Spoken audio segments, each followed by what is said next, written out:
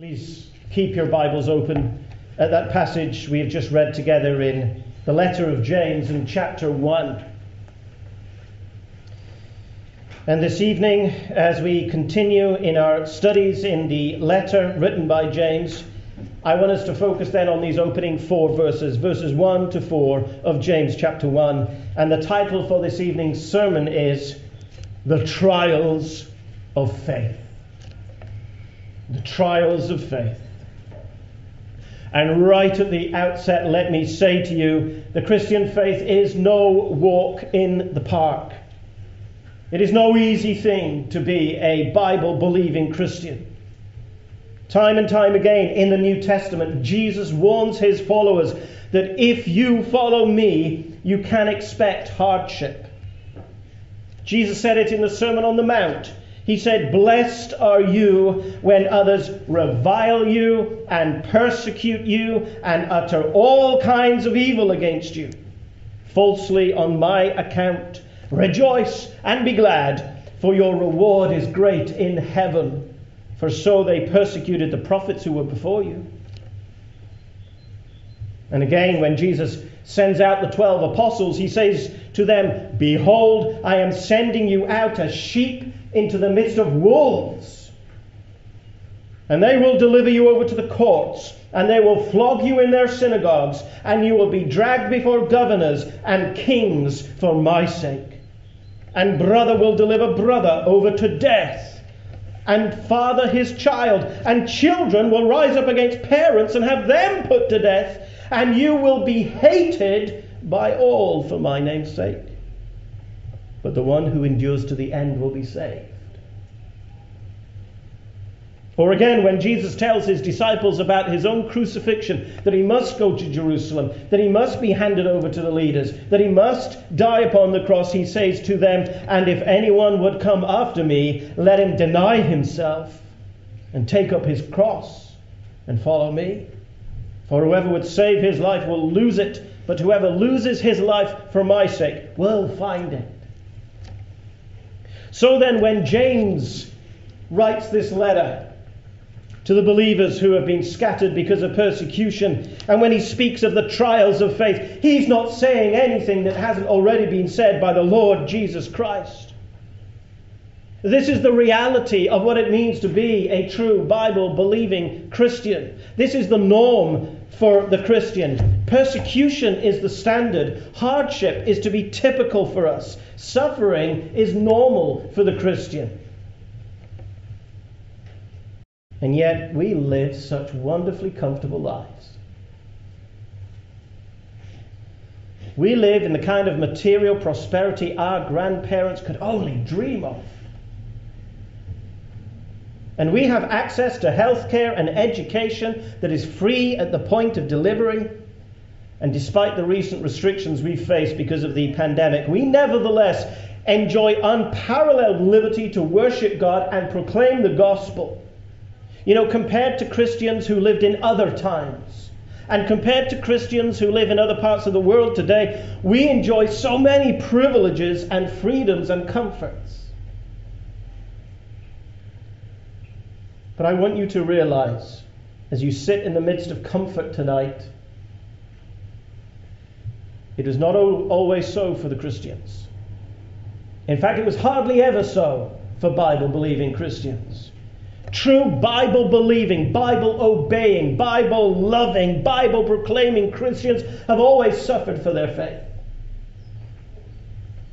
And it is certainly true of the people to whom James wrote this letter. He says he is writing to the 12 tribes in the dispersion, to those who have been dispersed. That's what it says in verse 1. In verse 1, it says, James, a servant of God and of the Lord Jesus Christ, to the 12 tribes in the dispersion. Greetings to you. Now, in all likelihood, James is writing to the believers who were scattered away from Jerusalem in the first great persecution that arose after the death of Stephen. That's why we read earlier in our service uh, from the book of Acts that describes what happened to Stephen. And then in chapter 8, verse 1, in the book of Acts, it says, And there arose on that day not just a persecution, but a great persecution against the church in Jerusalem, and they were all scattered throughout the regions of Judea and Samaria, except for the apostles.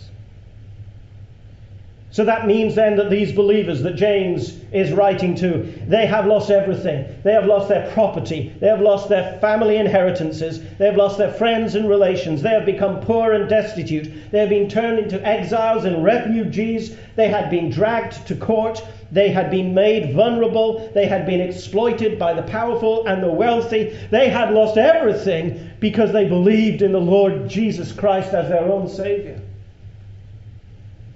And that's the situation that these original readers of the letter of James find themselves in. And it's why James writes to them. And before he says anything else, he says, Count it all joy, my brothers, when you meet trials of various kinds. For you know, you know that the testing of your faith produces steadfastness.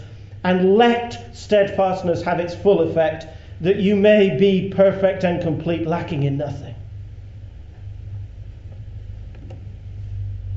Now, you may say, well, we don't face hardships like those people did. Uh, we've not been displaced from our homes because of our faith.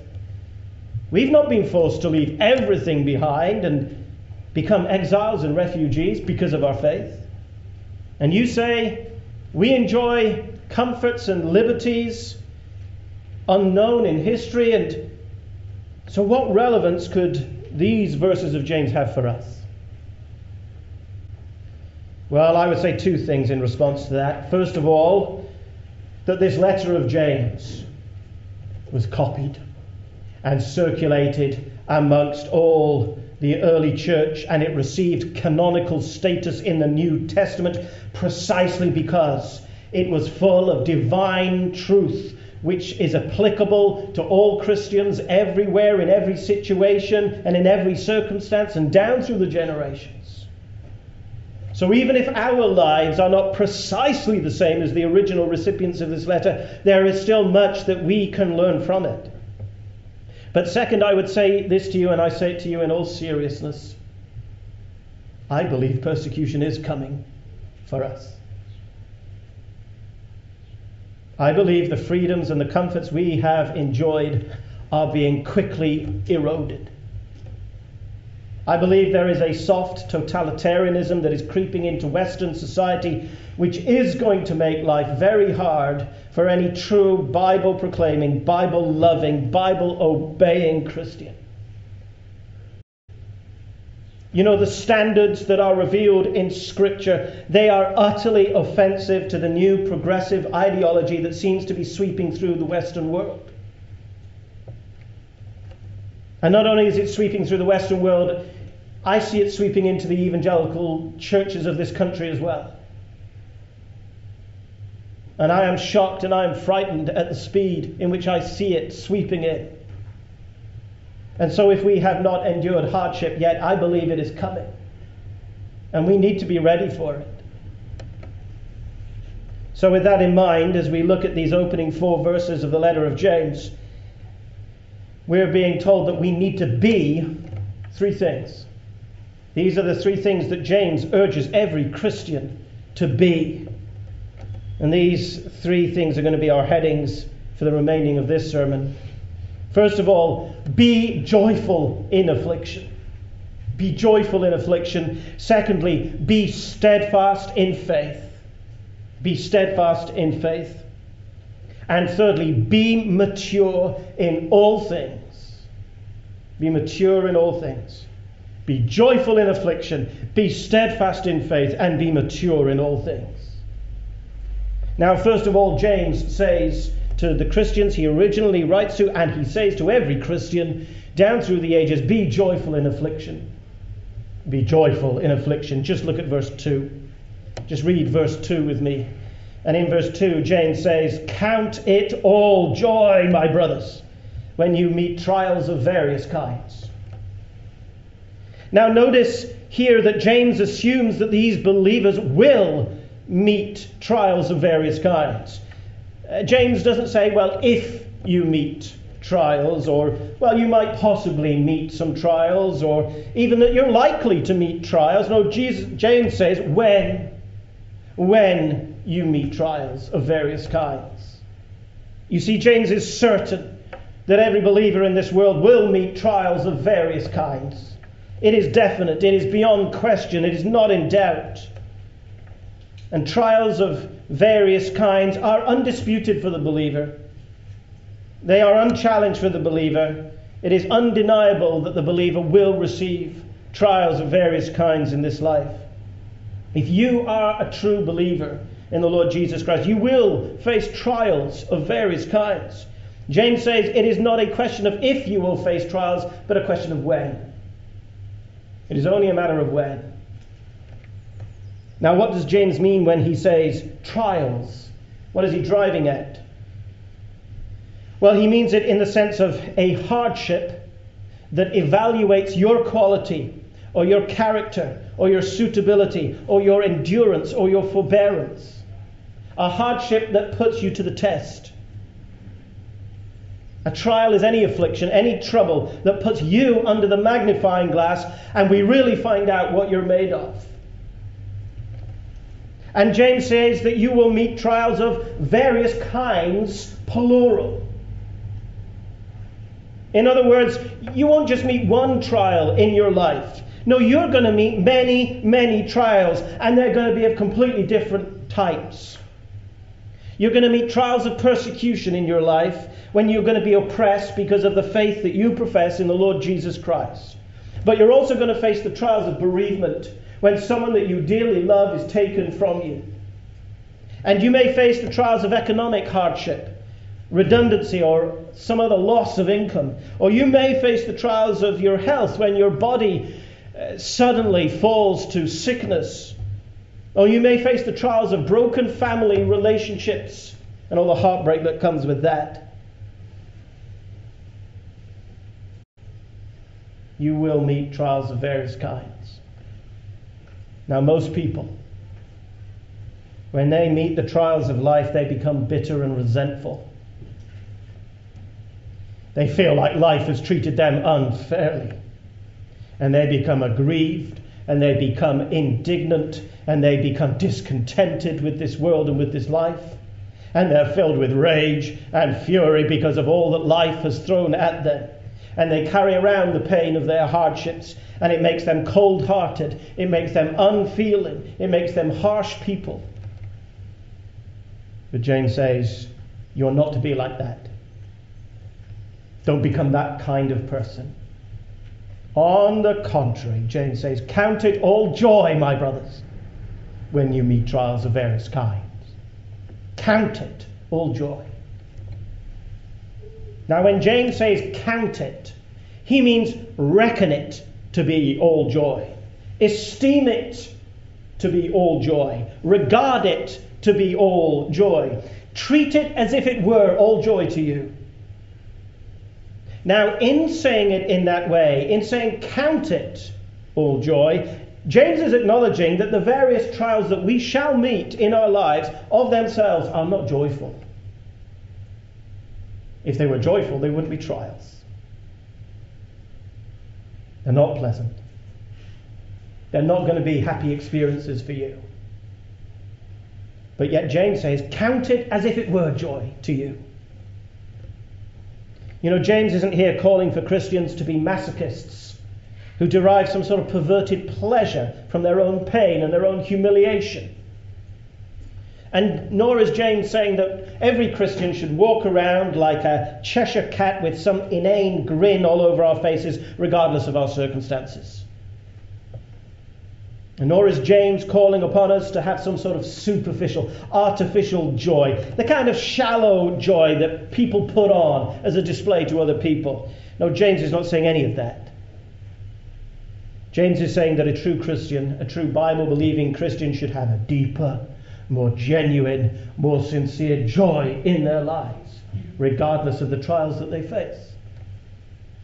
He's talking about the kind of joy that the apostles demonstrated back in the book of Acts. In Acts chapter 5, the apostles are called in by the Jerusalem council and they are beaten and they are charged never again to preach in the name of Jesus. And in verse 41 of that chapter, we're told that they left the presence of the council rejoicing. Now, why were they rejoicing? Were they rejoicing in the beating that they had just taken upon their bodies? Were they rejoicing that the council has now told them never again to speak of the name of Jesus? No, they weren't rejoicing in either of those things. They rejoiced, so the book of Acts tells us, because they were counted worthy to suffer dishonor for the name. That's why they rejoiced. They rejoiced that they were counted worthy to suffer for the sake of Jesus. No, we don't take any delight in the actual suffering. We take no delight in any persecution that we may face. And we take no delight in bereavement or in poverty or in sickness or in pain. We take no delight in any heartbreak we may face in this world. We take no delight in any misery or anguish or trauma. But if we belong to Jesus Christ, we don't become bitter and resentful because of the various trials that we will meet in our lives. On the contrary, we treat it as if it were all joy to us. And notice that James says, Count it all joy, my brothers. My brothers. In other words, he's including himself when he urges the Christians to whom he writes to be joyful in their afflictions. He says, Look, you are my fellow believer. You are my fellow Christian. You are my sister in the faith. You are my brother in the faith. And it is just as true of James as it is for you that he counts it all joy when he faces trials of various kinds. You know, I find it very interesting that James, who is the brother of Jesus, if you were here last time when we looked at James, you, you, you'll know that we looked at the life of James, the man who wrote this letter. He was the brother of Jesus. But it's interesting in the opening verse that he makes no mention of his brotherly status when he introduces himself. He merely calls himself James, a servant of God and of the Lord Jesus Christ. But now, here in verse 2, he is more than happy. In fact, he goes out of his way to mention his brotherly status, but not to Jesus, his brotherly status to his fellow believer. Because when it comes to facing the trials of our faith, James is just as much involved as all the others. Every single believer, beginning with those in the Old Testament, through all those in the New Testament, down through all the generations of the history of the church, every single believer that's ever stood in a pulpit, every single believer that's ever sat in a congregation has faced trials of various kinds. And so then we are united not only in Christ, but we're also united in our trials and in our hardships. We together count it all joy when we together, as brothers and sisters in the Lord, face trials of various kinds. James says, Count it all joy, my brothers. You're not alone. You should never be alone in your trials and in your hardships. So then, this is one of the marks of a Christian is that we are joyful even when we are afflicted. Now, is it true of you? Are you someone who does reckon it, esteem it, count it all joy when you have to go through trials of various kinds? And I don't mean that you take any pleasure in the suffering or pain that you may be in, and nor do I mean that you just put on a shallow outward display of joy, but I mean that do you have deep, genuine, honest joy when you face trials of various kinds? Do you know the solid joys and lasting treasures that none but Zion's children know? That's the first thing James urges us to be. He urges us to be joyful in our afflictions. But secondly, as he writes to these believers who've been dispersed out of Jerusalem because of persecution, he says, Be steadfast in faith. Be steadfast in faith. Now, just look at verse 3 with me. Just look at verse 3. In verse 3, James says, For you know that the testing of your faith produces steadfastness. James writes to these believers and he says, This is something you already know. And if you are a Christian tonight, this is something you already understand. This is something you've already perceived. You've already noticed it. If you truly belong to the Lord, you already recognize what James is driving at. So that when James says, Count it all joy, my brothers, when you meet trials of various kinds, you know what that means if you truly belong to Him. You already understand it. And when he says that the testing of your faith produces steadfastness, you already recognize what he's driving at. You already appreciate it. You already have knowledge and experience of it. So if you're sitting here tonight, or if you're watching the live stream or listening to the recording at a later date, and you're saying to yourself, I have no idea what this means. To count it all joy when I meet trials of various kinds? Or if you have not got the slightest inkling that the testing of your faith produces steadfastness, then you need to ask yourself whether you are truly a believer at all. Because all true believers know the reality of this. James says, For you know, you know.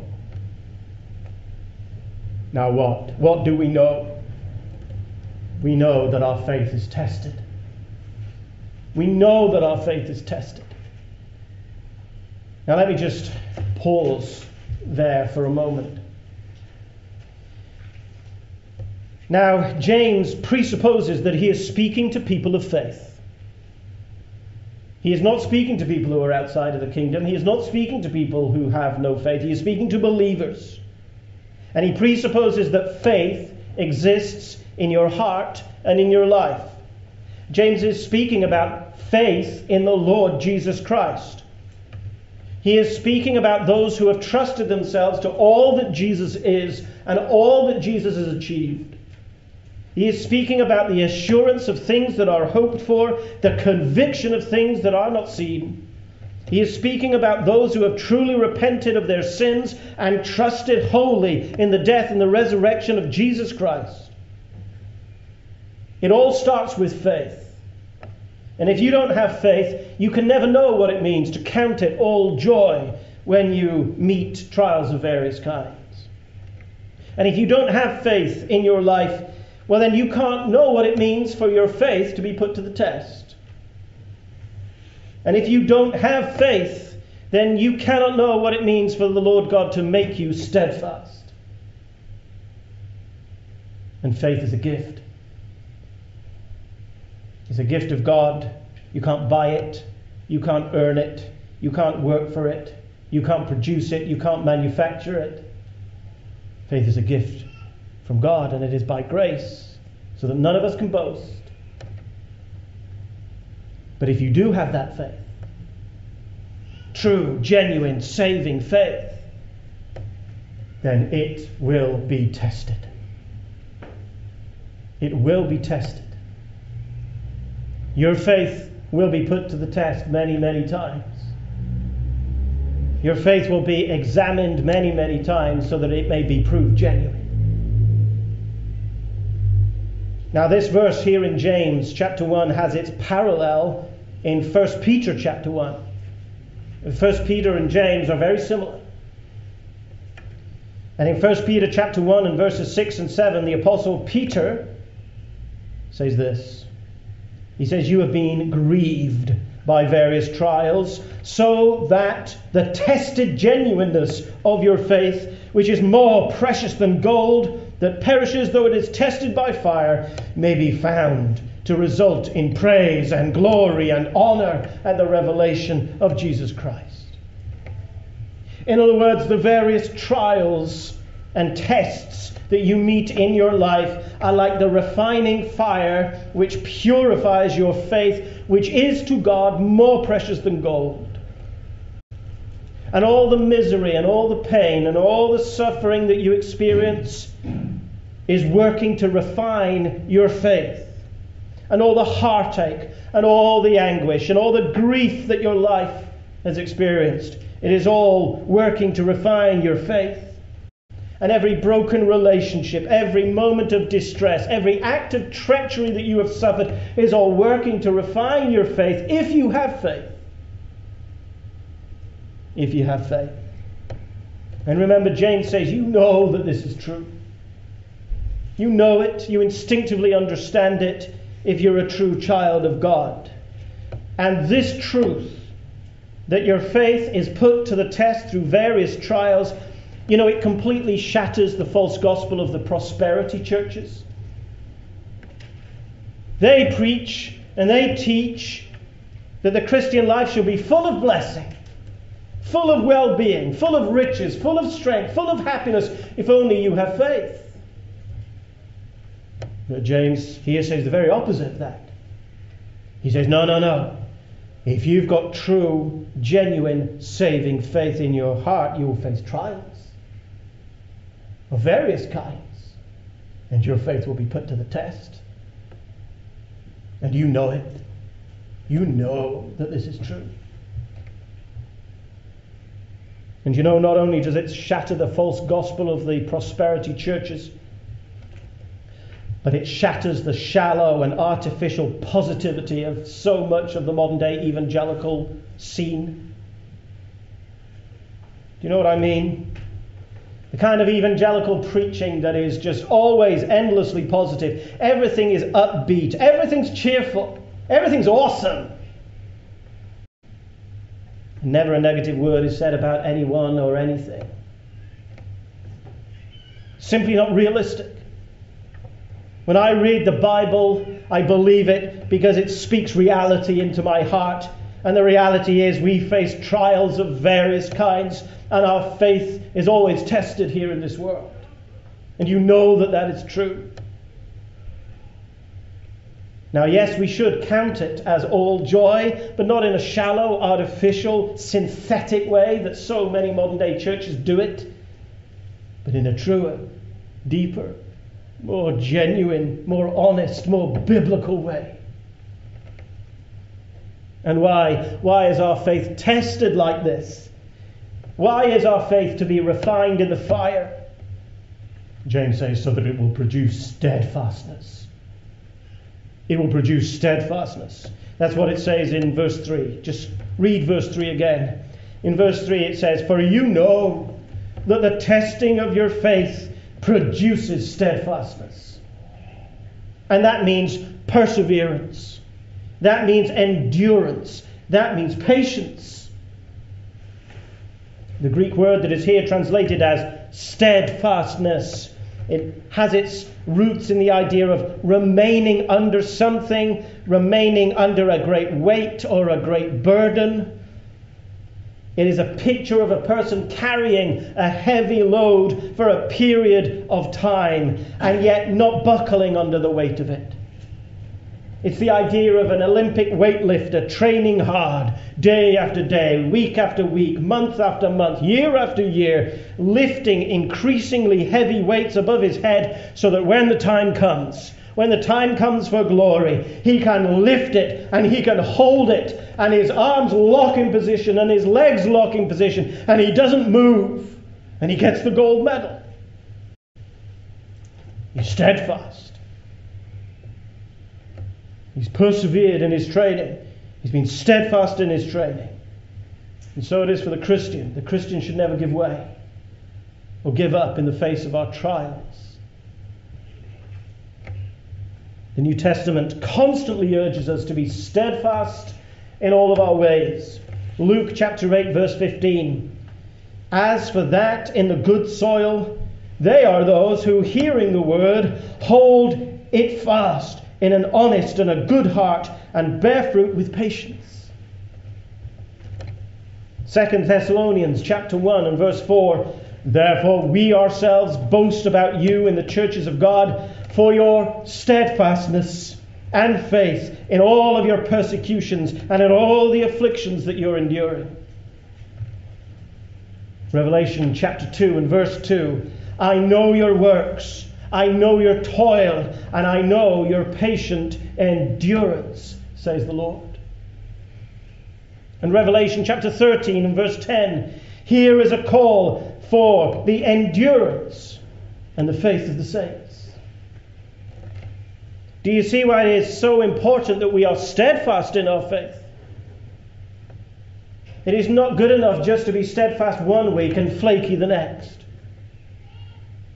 It's not good enough just to present yourself as a strong Christian for a month, two months, six months, even a year, if two or three years down the line you're nowhere. Steadfastness.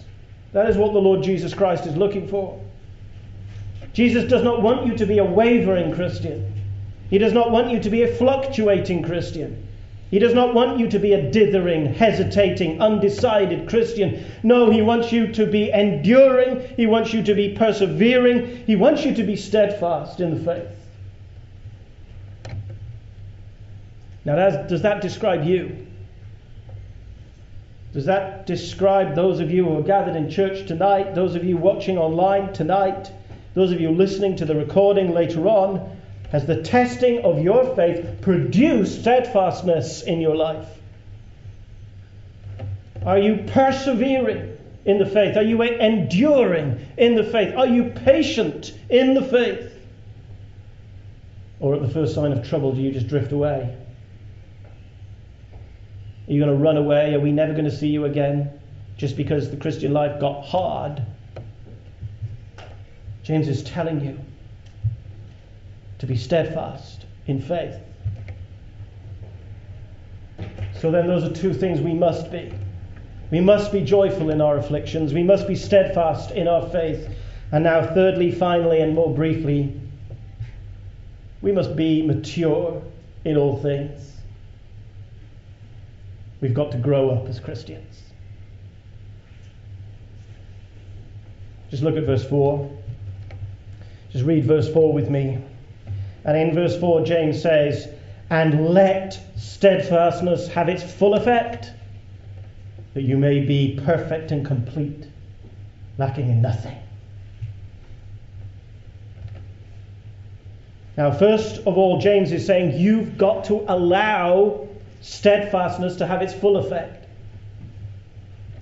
In other words, when you meet trials of various kinds, and when your faith is being tested in the fire, make sure that you are giving maximum opportunity to grow in steadfastness. The more you endure your trials, the more you endure the testing of your faith, the more you will grow in steadfastness. Please, if you are facing a trial or a hardship, don't allow just 10% of steadfastness to develop in your life. Don't allow a quarter. Don't allow half. Don't even allow two thirds. Let steadfastness have its full effect. You should aim to have a full measure of endurance. Aim to have a full measure of perseverance as you face affliction. Aim for a full measure of steadfastness. Let steadfastness have its full effect in your life. And James tells you why. He tells you why he says you should let steadfastness have its full effect, that you may be perfect and complete. Now, what does that mean? What does it mean when James says that you may be perfect and complete? Is he talking about sinless perfection? Does he mean that if we will allow a full measure of steadfastness to be produced in us, that we can attain complete moral perfection here in this world and here in this life? Well, no, I don't believe James does mean that. James does not mean perfection and completeness in that way. He means it in terms of maturity and wholeness. Perfection means maturity, completeness means wholeness. In other words, if you don't face up to the various trials that you are going to meet in your life as a Christian, and if you do not allow your faith to be tested through the fires, if you do not let steadfastness have its full effect, then you will just remain spiritually immature and incomplete. You're going to be spiritually immature and incomplete. And one of the great needs of our day is spiritual maturity. Spiritual maturity. Far too many Christians, including those within the evangelical world, are infantile in their thinking and understanding. And I'm not talking about people who've just come to faith. I'm talking about people who've been believers for years and they've just stayed as infants in the faith. They never grow up. They never develop. They remain forever as little infants in the faith. And so much of modern day evangelical worship is infantile. It's just not grown up. It's not deep. It's not serious. And so much of modern day preaching is infantile. So much modern day evangelism is infantile. Now, why? Why is there this problem with spiritual maturity in our own day? Is it because we've lived lives of comfort and ease for a long time now? Is it because we have avoided various trials of our faith? Is it because we've not allowed steadfastness to have its full effect in our lives? The need of the hour is for mature Christian men and women. We need mature worship, and we need mature preaching. We need mature evangelism. We need mature churches. We need mature prayers. We need mature understanding. We need mature endurance and mature perseverance.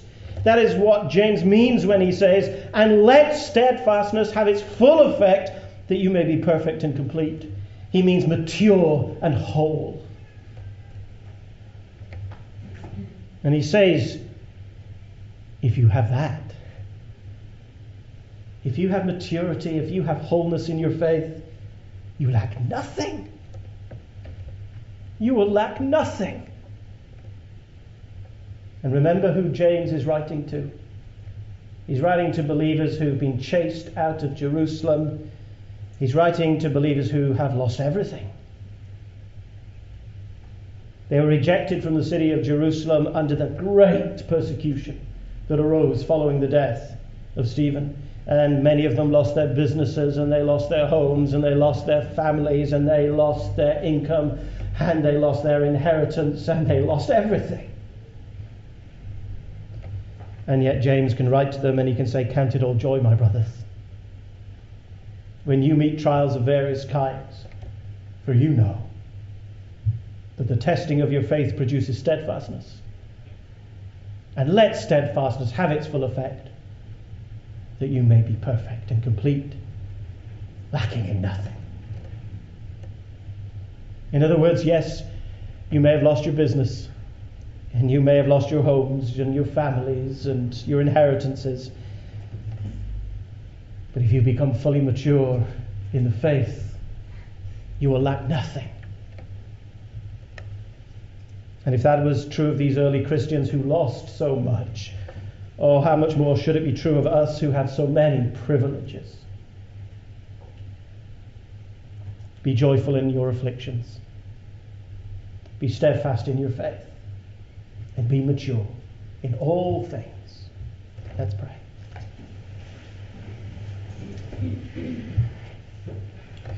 Lord God and our loving Heavenly Father, once again your word challenges our hearts and our lives, and yet it feeds us. We pray that we will nourish ourselves upon it. We pray, Lord God, that we will be transformed by what we have heard but Lord, we do thank you for the very great liberties and comforts that we enjoy in our present situation. But Lord, all the indications are that it's going to become very hard for us as Bible believing Christians in future years. And so, Lord, we pray that we will turn to your word and that whatever afflictions we may face, that we might be joyful and that we might count it as joy. And we pray that as our faith goes through the trials of fire, that it might produce in us steadfastness, that we might become stronger. And Lord, we pray that in becoming stronger, that we will grow up, that we will become more mature. And Lord, we ask for your Spirit's help in all these things. We can't do it in our own power. But with you by our side, we can do all things. And we ask and pray that these things might be to your honor, to your glory. In Jesus' name we pray. Amen.